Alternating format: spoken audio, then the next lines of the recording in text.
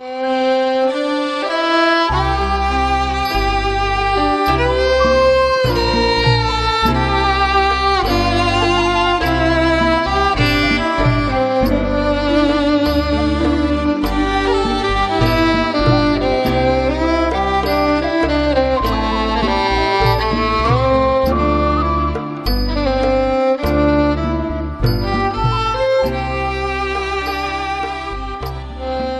ดูก่อนท่านผู้มีธุระเสมอกัน พระกันหกะเอ่ยขึ้นข้าพเจ้าเห็นว่าวันทนีตัดสินใจถูก และเห็นด้วยทุกประการ ความผิดหวังในชีวิตย่อมมีได้เสมอ และบางทีมันอาจจะเป็นประโยชน์แก่เราอย่างมาก ถ้ารู้จักใช้ความผิดหวังนั้น ไปในทางพิจารณาเห็นทุกอย่างตามความเป็นจริง และทำตนให้ดีขึ้น เพราะปารบความผิดหวังอันนั้นแล้วไม่ประมาท ท่านผู้นิรทุกข์ ผู้ผิดหวังในชีวิตแล้วนำตนเข้าพึ่งร่มธรรมนั้น ยังมีคนส่วนมากเข้าใจผิด และมีทีท่าเยียดยามเยาะเย้ยท่านเหล่านั้น แต่ข้าพเจ้ากลับเห็นตรงกันข้าม คือเห็นว่าเขาทำถูก ทั้งนี้เพราะการกระทำดังนั้นดีกว่าการฆ่าตัวตาย ดีกว่าการปล่อยตนให้จมลงสู่ห้วงเหวแห่งหายนะ ตามธรรมดาบุคคลเมื่อประสบทุกข์ จิตใจย่อมมืดมนไปด้วย ยากที่จะเห็นแสงสว่างตามความเป็นจริง และนำชีวิตเข้าสู่ทางที่ถูกต้องได้ คนส่วนมากจึงยอมตนให้เป็นทาสของสิ่งต่างๆ เป็นต้นว่า สุรา การพนัน และการเที่ยวเป็นต้น สิ่งเหล่านั้นมันเป็นอันตรายต่อชีวิต มีแต่จะกดบุคคลนั้นให้ต่ำลงทุกทีตามระยะเวลาที่ผ่านไป การเข้ามาอบรมจิตใจตามแนวทางของพระบรมศาสดานั้นทำให้บุคคลมองเห็นความผิดหวัง ซึ่งตนเคยถือเป็นเรื่องจริงจังในสมัยก่อนนั้น เป็นเพียงเรื่องสนุก และความฝันที่ค่อนข้างจะโลดโผนเท่านั้น จริงอยู่ ความรักเป็นสาเหตุอันหนึ่งที่ทำให้เกิดความทุกข์ แต่ความทุกข์ทั้งมวลไม่ใช่จะเกิดแต่ความรักเสมอไป เพราะความทุกข์อาจจะเกิดจากเรื่องอื่นก็ได้ ในบรรดาเรื่องอันมากมายของมนุษย์ แต่ถ้าไม่มีความรักก็แปลว่า ในบรรดาสาเหตุของความทุกข์หลายๆ เรื่อง ก็ตัดได้ไปหนึ่งเรื่องแล้ว เหมือนเชือกที่มัดมือมัดเท้าเราอยู่หลายๆ เกลียว หรือหลายๆเส้น เมื่อตัดออกได้หนึ่งเส้นก็แปลว่าเครื่องผูกนั้นน้อยลง และโอกาสที่จะหลุดจากเครื่องผูกพันก็มีมากขึ้น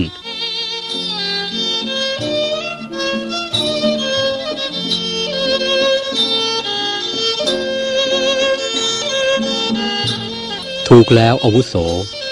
พระสารชาติ เสริม ความข้อนี้พระบรมศาสดาทรงแสดงแก่ภิกษุทั้งหลายไว้แล้ว ในสมัยเมื่อพระองค์ประทับณวัดเชตวัน เรื่องก็มีว่า ภิกษุทั้งหลายเห็นพวกโจรถูกพันธนาการด้วยคือคาหรือเครื่องจำจองอื่นๆ มั่นคงถาวร ไม่สามารถทำลายได้ จึงนำความกราบทูลเล่าให้พระพุทธองค์ทรงทราบ พระบรมศาสดาตรัสว่า ภิกษุทั้งหลาย เครื่องจองจำคือกิเลส กล่าวคือ ความผูกพันในทรัพย์สมบัติและบุตรพัญญาเป็นต้น มั่นคงยิ่งกว่าเครื่องจองจำภายนอกกว่าร้อยเท่าพันเท่า และแสนเท่า บัณฑิตทั้งหลายมีพระพุทธเจ้าเป็นต้น ไม่ได้เรียกเครื่องจองจำที่ทำด้วยเหล็ก เป็นต้นว่ามั่นคงอะไรเลย แต่ทรัพย์สมบัติและบุตรพัญญาเป็นต้น เป็นเครื่องผูกพันหย่อนหย่อนแต่ปลดเปลื้องได้ยากนี่แหละ เป็นเครื่องผูกที่มั่นคงนัก ต่บัณฑิตทั้งหลายก็ยังตัดเครื่องผูกเหล่านั้นให้ขาดแล้วออกบวชได้ ทุกรูปเงียบกันไปครู่หนึ่ง เหมือนจะตรองความจริงจากชีวิต และให้รสธรรมจากพระพุทธภาษิตซึมซาบเข้าสู่จิตใจ อันเปรียบเสมือนดอกบัวที่แย้มกลีบรอรับแสงพระอาทิตย์คือพระธรรม และพระธรรมชาติก็กล่าวต่อไปว่า พระดา ทุกคนย่อมมีโอกาสหลงทางชีวิตได้ทั้งสิ้น เพราะทางชีวิตนั้น ทั้งลื่น ทั้งรก และทั้งคดเขียว แต่ผู้มีปัญญาพยายามเดินให้ถูกทางและมีความระมัดระวังพอควร หรือให้มากที่สุดเท่าที่จะมากได้ ก็จะมีความผิดพลาดน้อยลง การรู้จักกลับตัวเหมือนล้มแล้วรู้จักลุกขึ้น เป็นคุณสมบัติของผู้ก้าวหน้าในเส้นทางชีวิต ทั้งทางคดีโลกและคดีธรรมข้าพเจ้าเข้าใจว่าการกลับตัวนั้นไม่มีวันสาย ตราบเท่าที่บุคคลผู้นั้นมีชีวิตอยู่ คนส่วนมากมักจะเก็บเอาความผิดพลาดในอดีตมาทรมานใจตนเองเล่น และไขว่คว้าหาอนาคต ที่ยังอยู่ไกลเหลือเกินมาล่อให้จันรน แล้วก็หาความสุขในชีวิตไม่ได้ ท่านผู้เจริญ อดีตก็ล่วงไปแล้ว อนาคตก็ยังไม่มาถึง แต่ปัจจุบันเป็นเรื่องที่จะต้องพิจารณาและกระทำให้ถูกต้อง ถ้าทำได้ดังนี้แล้ว อดีตก็จะดี และอนาคตก็จะพลอยดีไปด้วย เพราะวันนี้จะต้องเป็นอดีตของพรุ่งนี้ และพรุ่งนี้ก็คืออนาคตของวันนี้ เพราะฉะนั้นการทำดีในวันนี้ได้ชื่อว่าสร้างอดีตให้ดี และสร้างอนาคตให้งาม เป็นที่บันเทิงใจเมื่อนึกถึง อันนี้เป็นความสุขที่หาได้ไม่ยากนัก แต่คนส่วนมากก็หาไม่พบ เพราะมัวเก็บเอาอดีตและไขว่คว้าอนาคต มาให้ใจวุ่นวายเล่นเรื่อยๆบุคคลผู้พยายามทำปัจจุบันให้ดีที่สุด ชื่อว่า สร้างทางชีวิตอันราบรื่นของตนไว้ภายหน้านั่นเอง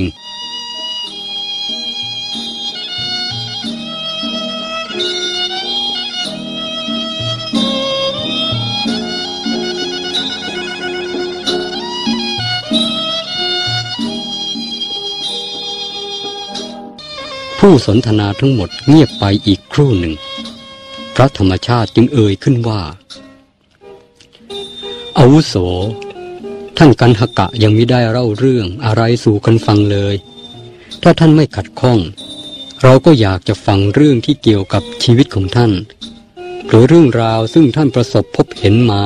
อันพอจะเป็นตัวอย่างแก่ชีวิตได้บ้าง จริงสิ ท่านผู้เจริญ ระสารชาติเสริม เวลาของเรายังมีอยู่ ถ้าไม่เป็นการรบกวนและลำบากแก่ท่าน ก็ขอได้โปรดเล่าเถิดข้าพเจ้าและท่านธรรมชาติพอใจที่จะฟังคำของท่าน ข้าแต่ท่านผู้เจริญ ถ้าจะเล่าข้าพเจ้าก็ปรารถนาจะเล่าเรื่องของข้าพเจ้าเอง เพราะข้าพเจ้าเป็นผู้มีเรื่องมากอยู่ ถ้าท่านทั้งหลายไม่รังเกียจที่จะฟังเรื่องส่วนตัวข้าพเจ้าก็ยินดีที่จะเล่าสู่ท่านทั้งหลายฟัง ทั้งนี้บางทีอาจจะเป็นประโยชน์แก่การพิจารณาปัญหาต่างๆสำหรับท่านทั้งสอง และอาจจะเกิดประโยชน์แก่ข้าพเจ้า โดยคำแนะนำและแง่คิดจากท่านนั้นด้วย ท่านผู้เจริญข้าพเจ้าเป็นนายทหาร ท่านคงทราบดีว่า หน้าที่ของทหารนั้นคืออะไร และอย่างไร ทหารมีความอาภัพอยู่อย่างหนึ่ง คือในยามปกติเมื่อไม่มีศึกสงคราม คนทั้งหลายก็จะมองทหารในแง่ต่ำต้อยและเกือบไม่มีประโยชน์อะไรเลย แต่เมื่อสงครามระหว่างแคว้นระหว่างประเทศเกิดขึ้น ผู้ที่ต้องเอาเลือดทาแผ่นดินคือทหารอาณาเขตของทุกๆประเทศต้องรักษากันด้วยเลือดและเนื้อ ข้าพเจ้าเป็นนายทหาร และเป็นด้วยความรัก ไม่ใช่ถูกบังคับกะเกณฑ์อะไรตระกูลของข้าพเจ้าเป็นทหารกันมาหลายชั่วคน ครั้งหนึ่งข้าพเจ้าต้องไปราชการศึก ท่านผู้เจริญ เวลานั้นข้าพเจ้ามีคนรักแล้ว อารยา เธอเป็นคนค่อนข้างสวยแม้จะไม่สวยบาดตาบาดใจ แต่เธอก็อยู่ในขั้นที่พอจะเรียกได้ว่า สวยงามทีเดียว ร่างอันสูงโปร่ง ผิวขาว ในตาคมมีแววซึ้ง และที่สำคัญที่สุดคือ ความดี ความนุ่มนวลอ่อนหวาน ความช่างเอาอกเอาใจ เหล่านี้ทำให้ข้าพเจ้ารักเธอ และเธอก็รักข้าพเจ้าเช่นเดียวกัน แม้เราจะมิได้พบกันเสมอหรือบ่อยๆ เพราะประเพณีคอยกีดขวางไว้ และเราทั้งสองก็ยินดีปฏิบัติไม่ยอมฝ่าฝืนระเบียบประเพณีใด ๆ ทั้งสิ้น แต่เราก็พบกันได้เมื่อต้องการพบ หรือมีธุระจำเป็น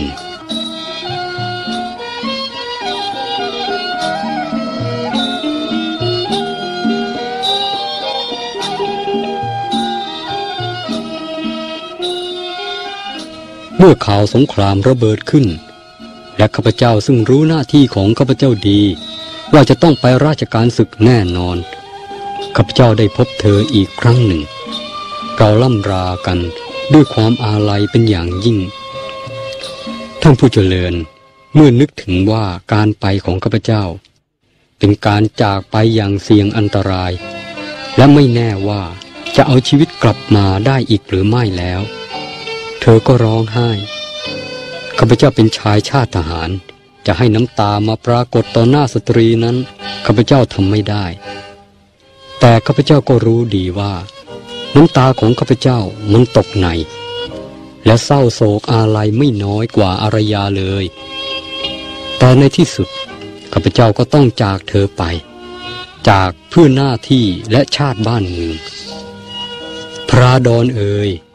ข้าพเจ้าเคยเข้าสงครามใหญ่มาไม่น้อยกว่าสามครั้งแล้ว แต่มันไม่ใหญ่เหมือนครั้งนี้เลย ทั้งนี้เพราะในครั้งก่อนๆข้าพเจ้ายังไม่มีคนรักคอยอยู่เบื้องหลังข้าพเจ้าตัวคนเดียว และข้าพเจ้าเคยต่อสู้ข้าศึกอย่างไม่คิดชีวิตข้าพเจ้าชอบสงครามและรักสงคราม แต่คราวนี้ข้าพเจ้าเกลียดสงคราม และชังมันเสียเหลือเกิน ที่ข้าพเจ้าว่าศึกครั้งนี้เป็นศึกใหญ่นั้น เพราะข้าพเจ้าต้องสู้ศึกทั้งสองด้าน คือศึกภายนอกและศึกภายใน ทั้งศึกเบื้องหน้าและเบื้องหลัง เมื่อขบวนทัพเคลื่อนออกจากเมือง หัวใจของข้าพเจ้าเหมือนถูกปิดทิ้งไว้ณที่นั้นเอง สหายเอ๋ยเมื่อข้าพเจ้ามาพบพระพุทธภาษิตที่ว่า การต้องพลัดพรากจากสิ่งอันเป็นที่รักเป็นความทุกข์ ข้าพเจ้าจึงทราบซึ้งและเห็นจริงทุกประการ เพราะข้าพเจ้าเคยประสบมาด้วยตนเองแล้ว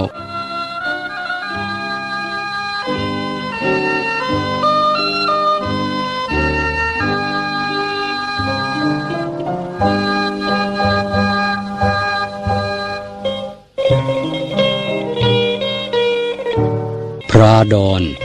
ตลอดเวลาที่อยู่ในกองทัพเพื่อป้องกันและย่ำยีศัตรู ข้าพเจ้าพยายามหักห้ามใจมิให้คิดถึงอารยา ข้าพเจ้าคิดถึงหน้าที่และปลงใจว่า หน้าที่เป็นสิ่งสำคัญกว่าสิ่งใดหมด ในที่สุดข้าพเจ้าก็พอหักห้ามใจมิให้คิดถึงเธอสิบ้าง ท่านจะนึกว่าข้าพเจ้าเป็นทหารที่เลวก็ว่าเถิด ข้าพเจ้าไม่โทษท่านเลย ข้าพเจ้าไม่เคยกลัวศัตรูและไม่เคยวันวิตกกับชีวิต เพราะชีวิตทหารได้รับการอบรมให้แข็งแกร่งอยู่เสมอ แต่มาคราวนี้ข้าพเจ้ากลัวตาย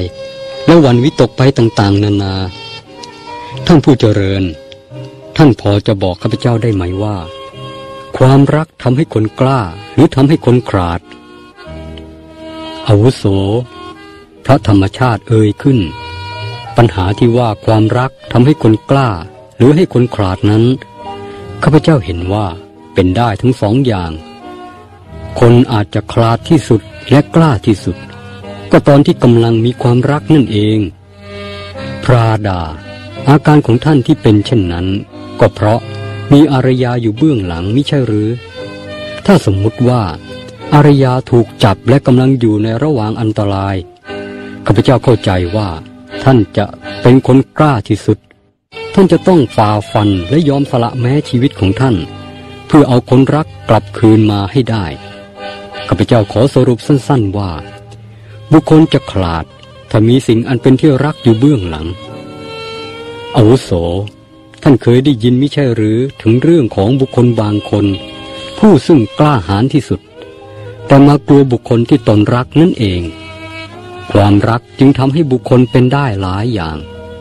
ทำให้คนเป็นนักผจญภัย เป็นคนอคติ เป็นมหาโจร เป็นคนใจดีที่สุด และใจร้ายที่สุด รวมความว่า ความรักอาจทำให้เป็นคนสมบูรณ์ และเสียคนได้เท่าๆกัน พระกันหกะเล่าต่อไปว่า อย่างไรก็ตาม เมื่อถึงเวลาปฏิบัติงานจริงๆช่างมีกำลังมหัศจรรย์อะไรไม่ทราบได้ทำให้ข้าพเจ้าเข้มแข็ง ทนทาน และกล้าหาญอย่างประหลาด สงคราม ท่านผู้เจริญ สงครามเป็นสภาพที่เลวร้าย มนุษย์ต่อมนุษย์ต่างประหัตประหารกันล้มตายระเนระนาด มนุษย์ที่หันหน้าฟาดฟันกันนี้ ได้อะไรบ้าง ต่างฝ่ายต่างก็ย่อยยับปนปี้ ทั้งฝ่ายชนะและฝ่ายแพ้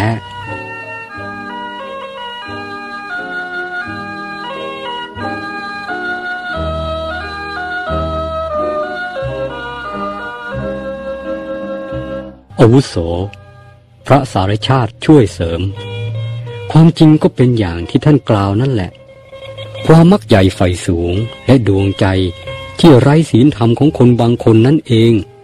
ทำให้มนุษย์นับจำนวนหมื่นจำนวนแสน ต้องทนทุกข์ทรมาน และพัดพรากจากบุตรพัญญา และสิ่งอันเป็นที่รักอื่นๆ ต้องพิกลพิการบอบช้ำบางทีก็เพื่อสนองความอยากอันไม่รู้จักสิ้นสุด ของคนเพียงคนเดียว หรือสองคนเท่านั้น นอกจากนั้น ผลของสงครามยังเป็นผลร้ายทางจิตใจหลือประมาณ ในระหว่างสงคราม คนย่อมเห็นแก่ตัว เอารัดเอาเปรียบ ช่วงชิงอำนาจและสิ่งที่พอจะเอามาเป็นของตนได้อย่างไร แม้สิ้นสงครามแล้ว ความเป็นไปอันนั้นก็คงยังมีอยู่ชั่วระยะหนึ่ง และถ้าไม่จัดการให้เรียบร้อยลงด้วยวิธีอันฉลาด ผลร้ายอันนี้ก็จะต้องสืบเนื่องติดต่อไปไม่มีที่สิ้นสุดดังตัวอย่างที่ท่านทั้งหลาย พอจะมองเห็นอยู่บ้างแล้ว มันเป็นโรคระบาดทที่น่ากลัว และน่าวันวิตกยิ่งนัก ท่านผู้เจริญ ในเดือนที่สามนับแต่เริ่มรบข้าพเจ้าเป็นผู้หนึ่งที่ถูกจับเป็นเฉลย ในวันรุ่งขึ้นทหารทางฝ่ายข้าพเจ้าได้เห็นศีรษะคนถูกเสียบไว้ณป้อมปราการของค่ายอีกฝ่ายหนึ่งเป็นศีรษะทหารแน่ๆ ไม่น้อยกว่าหกถึงเจ็ดศีรษะ และทุกคนก็ลงความเห็นว่าในบรรดาศีรษะเหล่านั้น เป็นของข้าพเจ้าศีรษะหนึ่งด้วยเหมือนกัน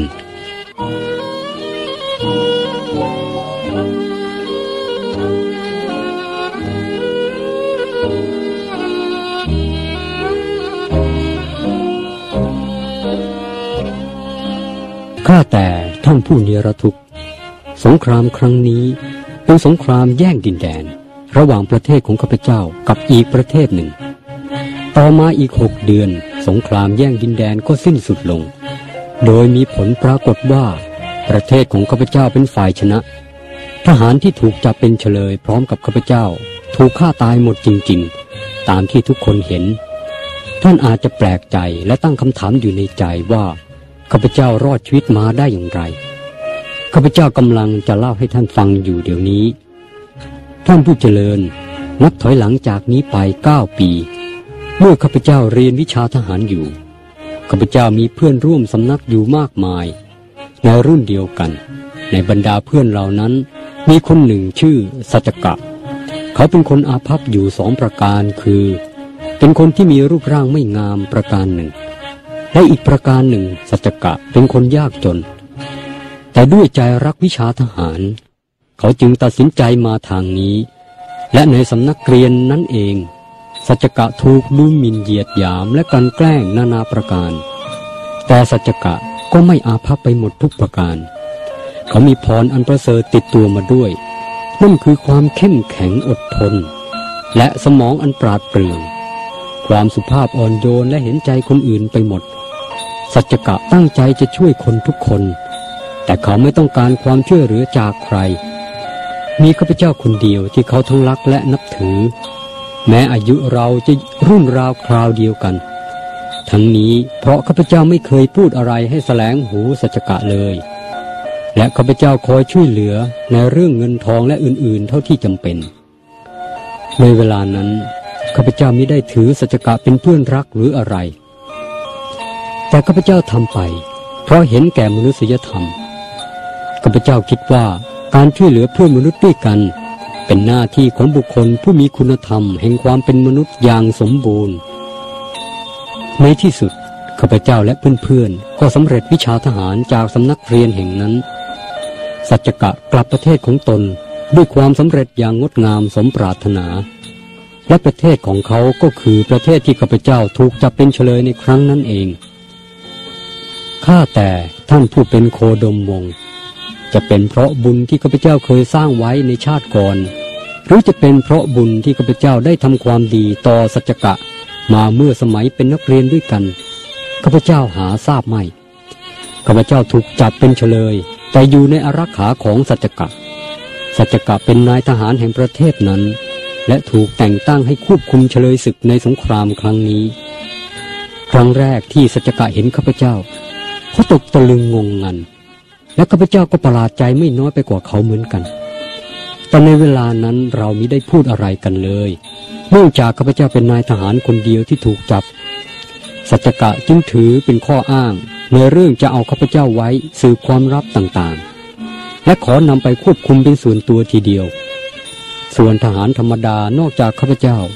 ถูกฆ่าตายหมดในวันรุ่งขึ้น ดังกล่าวแล้ว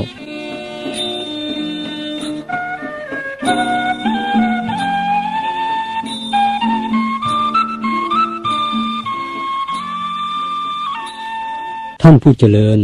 ข้าพเจ้าถูกคุมขังอยู่ในกองทัพ ซึ่งมีสัจกะเป็นผู้ควบคุมเฉลยศึกอยู่เป็นเวลาหกเดือน จนสงครามสิ้นสุดลง และด้วยการช่วยเหลืออย่างฉลาดของสัจกะข้าพเจ้าจึงรอดชีวิตมาได้ ด้วยประการดังกล่าวมานี้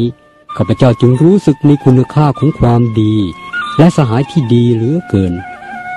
ข้าพเจ้าคิดว่า ถ้าสัจกะจะฆ่าข้าพเจ้าเสีย ก็ไม่น่าจะมีโทษอะไรสำหรับเขา เพราะเป็นการฆ่าคนที่เป็นศัตรูต่อประเทศของเขาเอง และถ้าสัจกะจะส่งข้าพเจ้ากลับ ตั้งแต่สงครามยังไม่สิ้นสุดลงข้าพเจ้าเชื่อว่าเขาก็คงทำได้ แต่สัจกะทำถูกทุกอย่าง เขาปล่อยข้าพเจ้าได้อย่างไร ในเมื่อข้าพเจ้าเป็นนายทหารแห่งกองทัพที่กำลังรบติดพันกับประเทศของเขาอยู่ และเขาจะฆ่าข้าพเจ้าได้อย่างไร ในเมื่อข้าพเจ้าเป็นเพื่อนที่เคยช่วยเหลือและมีอุปการะต่อเขา มาเมื่อสมัยที่ยังศึกษาอยู่ด้วยข้าพเจ้าคิดว่า การที่จะมีมิตรที่ซื่อสัตย์ทั้งต่อมิตรและประเทศของตนนั้น ไม่ใช่จะเป็นการหาง่ายนัก พระธรรมชาติช่วยเสริมว่า มิตรแท้หาได้ยาก ไม่เหมือนมิตรปลอมหรือมิตรเทียม มิตรแท้ต้องช่วยเหลือเอื้อเฟื้อในยามวิบัติขัดข้อง ถือเอาเป็นภาระธุระในการช่วยเหลือมิตรในทางที่ถูกที่ชอบ และไม่ส่งเสริมในทางที่ผิดที่ไม่ควร เพราะฉะนั้น เราทั้งหลายพึงสำเนียกศึกษาและจดจำไว้ว่าทำชั่วคอยส่งเสริมทำดีคอยกีดกัน นั่นคือศัตรูทำดีคอยส่งเสริมทำชั่วคอยกีดกัน นั่นคือมิตรอาวุโส สมัยหนึ่ง พระอนุนเถระเข้าสู่ที่เร้นเป็นการพักผ่อนตรึกตรองธรรมท่านมีความคิดเกิดขึ้นว่ากัลยาณมิตรมีคุณค่าเท่ากับครึ่งหนึ่งของพรหมจรรย์ทั้งหมด แต่ท่านไม่แน่ใจว่าความคิดของท่านจะถูกต้องหรือไม่ เมื่อออกจากที่เร้นแล้วจึงกราบทูลพระผู้มีพระภาคเจ้า ถึงความคิดของท่าน พระพุทธองค์ตรัสเตือนว่า อานนท์เธออย่าคิด อย่างนั้นกัลยาณมิตรไม่ใช่เป็นครึ่งหนึ่งของพรหมจรรย์ แต่เป็นพรหมจรรย์ทั้งหมดทีเดียว ทั้งนี้เพราะบุคคลได้อาศัยกัลยาณมิตรเช่นกับเราแล้ว ย่อมหลุดพ้นจากทุกทั้งปวงอาวุโสข้อที่ข้าพเจ้ายกพระพุทธพจน์มากล่าวนี้ เป็นปริยายเบื้องสูง เมื่อจะกล่าวในฐานะธรรมดาสามัญมิตร ก็มีส่วนเป็นอันมากเกินกว่าครึ่งหนึ่ง ในการที่จะทำให้คนทำดีทำชั่วหรือโน้มเอียงไปในทางดี หรือทางชั่ว เพราะฉะนั้นเมื่อถูกทูลถามเพื่อให้ตรัสบอกมงคลชีวิต พระพุทธองค์จึงทรงแสดงธรรมคือการไม่คบคนผ่านไว้เป็นประการแรก และให้คบบัณฑิตเป็นประการที่สองอาวุโสการครบคนพาลย่อมเหมือนการจับงูที่เปื้อนคูด ย่อมมีอันตรายสองประการ คือการถูกงูกัด หรือถ้ามันไม่กัดมือของผู้จับก็เปื้อนคูด การครบคนพาลก็เป็นเช่นนั้น หรือการสมาคมด้วยภิกษุผู้ไม่มีศีลก็เช่นเดียวกัน คือย่อมถูกคนพาลนนั้นทำอันตรายด้วยการชักชวนให้ทำความชั่ว มีประการต่างๆ อันเปรียบเหมือนการถูกงูกัด หรือมิฉะนั้น ผู้สมาคมก็ได้ชื่อว่า สมาคมด้วยคนพาล เป็นที่ตำหนิของสัพปรุษชน อันเปรียบเหมือนมือที่เปื้อนคูด แต่การพูดด้วยนั่งด้วยกับคนพาลด้วยหวังจะอนุเคราะห์ และแนะนำเพื่อให้เขากลับเป็นคนดีย่อมเป็นการสมควรและชอบด้วยเหตุผล ข้อความดังกล่าวนี้ก็เป็นพระพุทธดำรัสของพระบรมศาสดา แต่โดยทางตรงกันข้าม บัณฑิตย่อมอำนวยแต่ประโยชน์ให้นำความชุ่มชื่นมาสู่สมาคม แม้ด้วยการนั่งใกล้ การเจรจาและคำแนะนำอันเต็มไปด้วยสาระ และอัตรสอันพึงปฏิบัติตาม อวุโส อีกประการหนึ่ง การที่ท่านได้รับความปลอดภัย ในการที่ตกเป็นเฉลยศึกในครั้งนั้น เห็นจะเป็นเพราะอานิสงส์ที่ท่านได้ช่วยเหลือและกรุณาต่อสัจกะเพื่อนของท่าน ในคราวที่เขาได้รับความทุกข์ยากลำบากนั่นเอง ดูก่อนท่านผู้เป็นอริยชาติ ข้าพเจ้าเคยฟังมาว่า ผู้ใดไม่ช่วยเหลือคนที่ไม่ควรช่วยเหลือ และช่วยเหลือคนที่ควรช่วยเหลือ ผู้นั้นเมื่อประสบความเสื่อม เพราะอยู่ในอันตรายเป็นต้น ย่อมได้สหาย ส่วนผู้ได้ช่วยเหลือคนที่ไม่ควรช่วยเหลือ ไม่ช่วยเหลือคนที่ควรช่วยเหลือ ผู้นั้น เมื่อประสบอันตรายย่อมไม่ได้สหาย อาวุโส ความจริงข้อนี้พิสูจน์ได้แล้วด้วยชีวประวัติของท่าน ตามที่ท่านเล่ามานั่นเอง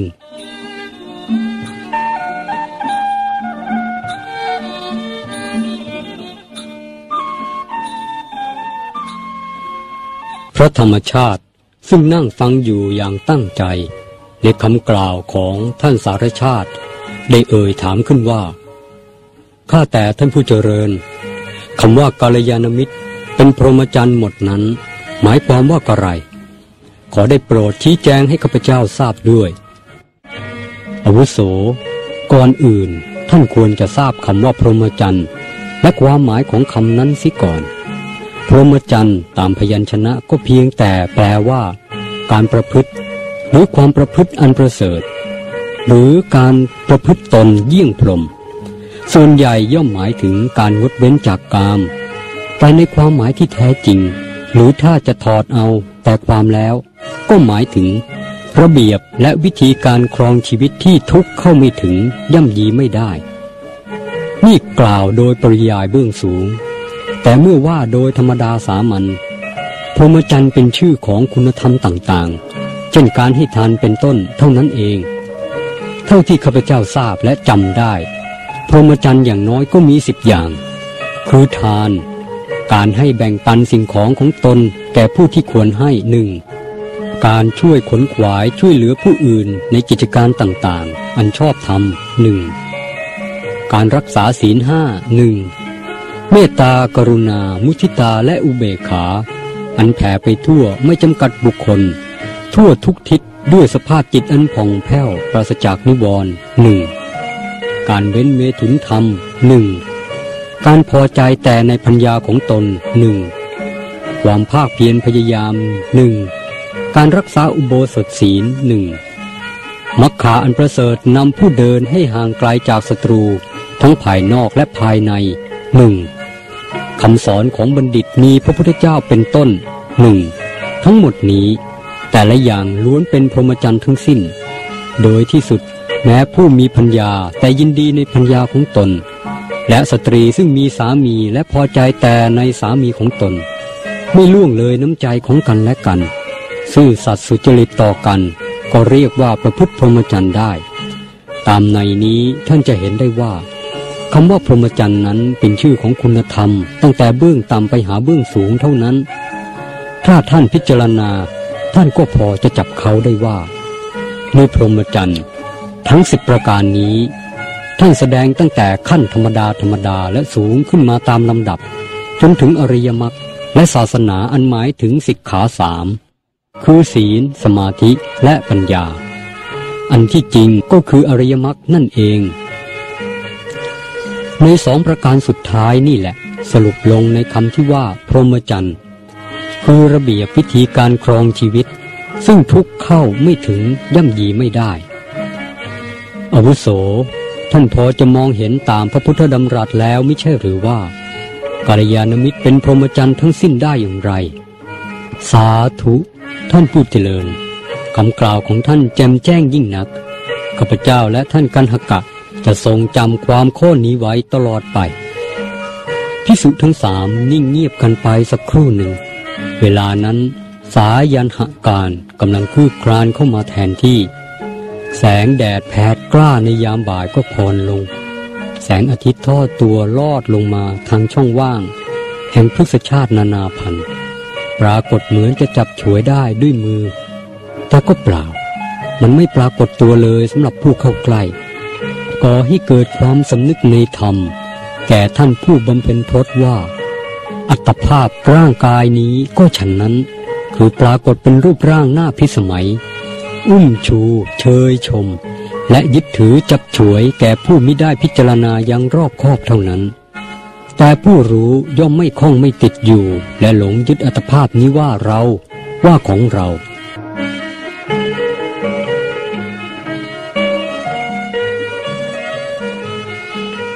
ข้าแต่ท่านผู้สแสวงหามรคาแห่งอมตะ